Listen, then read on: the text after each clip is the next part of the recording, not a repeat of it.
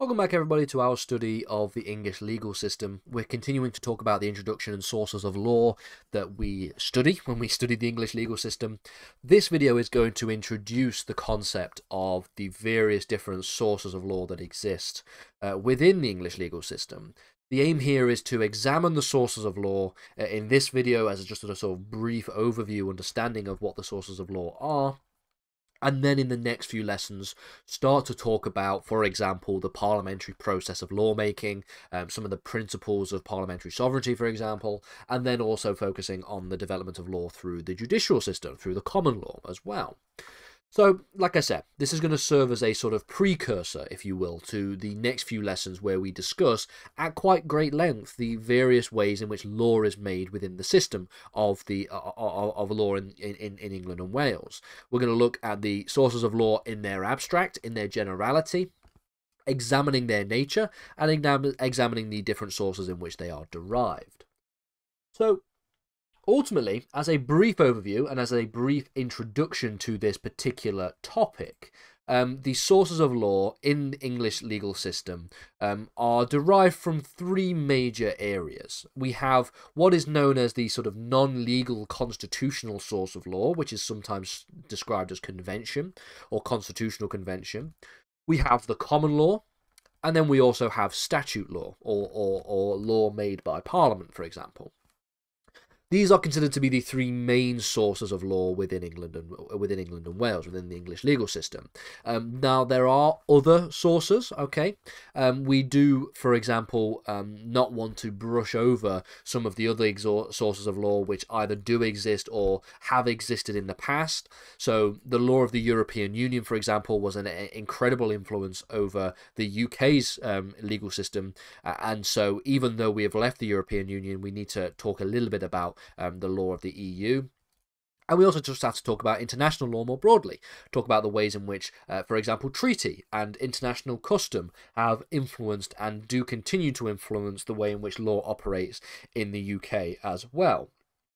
And in addition to this as well, we have to think about um, secondary legislation or delegated legislation, which comes out of and is a derived source from statutes. So, in looking at these uh, main sources of law, we're going to talk about the first three in this lesson. We're going to talk about convention, we're going to talk about the common law, and we'll talk about legal statutes as well. Beginning first with convention, a constitutional convention, as you will learn when you study public law, or if you are uh, uh, in some particular um, circles of, of universities around the country, they may call it constitutional and administrative law. Uh, but fundamentally, a constitutional convention can be described as a sort of general rule of thumb, which is agreed upon by everyone and is sort of followed by all to whom it applies to. So, this is a sort of uh, when we get into uh, when we get into public law, we will look at constitutional conventions in, in, in great detail.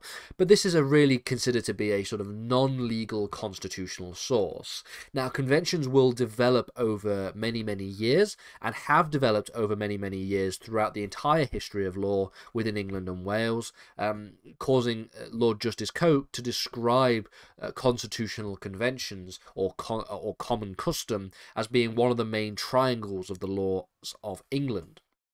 What is quite interesting here is that they are not legally enforceable constitutional conventions because they are non legal sources of law and because they're considered to be quote unquote general rules of thumb which are, are followed by everyone to whom it applies to. It means that if you break a constitutional convention, which people tend to do quite often in some circumstances, this means that there is no enforcement mechanism. The sort of way in which we uh, understand conventions and the sort of weight that conventions have comes from this general agreed acceptance by everybody that the convention in question is something that we should be uh, desiring to follow and in a sort of uh, an implicit agreement by everybody that we are going to follow said agreement.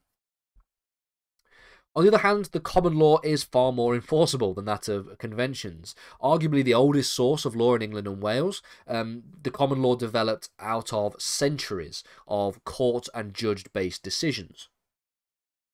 So, um, for example, judge made law is done through various different principles uh, of judicial precedent things like stare decisis. We have um, we, we have various different ways uh, in which we can understand judicial precedent kind of uh, ratio decidendi of a decision, for example, all these sort of Latin phraseologies, um, which we're going to get to in future lessons' time. But judge made law is done through these various principles, by which we have this idea of judicial precedent. And the idea of judicial precedent is the idea that a case decision may inform the creation of principles in the future. So a case may come to often a higher court, so maybe a court of appeal or uh, or, or, the House of Lords or the Supreme Court as it is now today, um, and they may um, make a decision as to the principle of law which is to be applied in that particular case. And that principle of law then becomes precedent. It then becomes the rule that is followed by future courts and is then cited as precedent in future courts' decisions sometimes you may think that and you may see the uh, a case for example a, a, common law case a judicial case being described as an authority.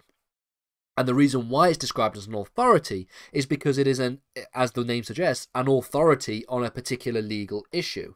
The idea for example of the case of Donoghue and Stevenson in the case of in the law of tort is an authority on the nature of general negligence and foreseeability, which then is applied through judicial precedent in the future. That is how the common law becomes a legal system which is important to recognize. A common example of common law rules is this idea of the crime of murder. Murder is what is known as a common law offence. It is a, a, an offence that has no legal statute uh, which outlines the crime of murder. And we can contrast this to, for example, sexual offences, which are established by the Sexual Offences Act of 2003. And the Sexual Offences Act of 2003 represents what is known as statute law. It is law which is created by some kind of institutional legislature. In the case of England and Wales, the most important institutional legislature, the most supreme institutional legislature, is that of Parliament, situated in Westminster. This, uh, this uh, above the screen here, the image that we see with Big Ben and the Palace of Westminster um, as well.